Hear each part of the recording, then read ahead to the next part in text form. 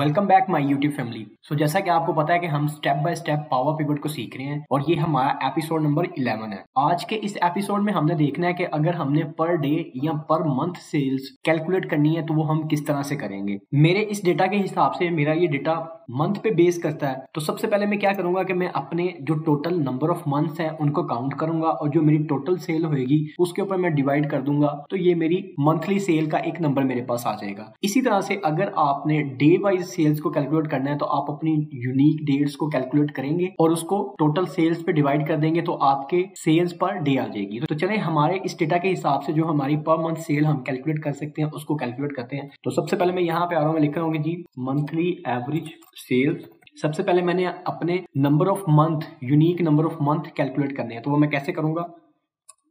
Distinct count और sales के table के अंदर जो मंथ उसका डिस्टिंग काउंट मुझे करके दे दो। अगर मैं इसको यहाँ पे ओके okay करता हूँ ना तो ये मुझे बता रहा है कि मेरे पास टोटल सिक्स मंथ है। यानी कि अगर मैं इसमें जाके देखता हूँ तो मेरे पास total one two three four five six six month है।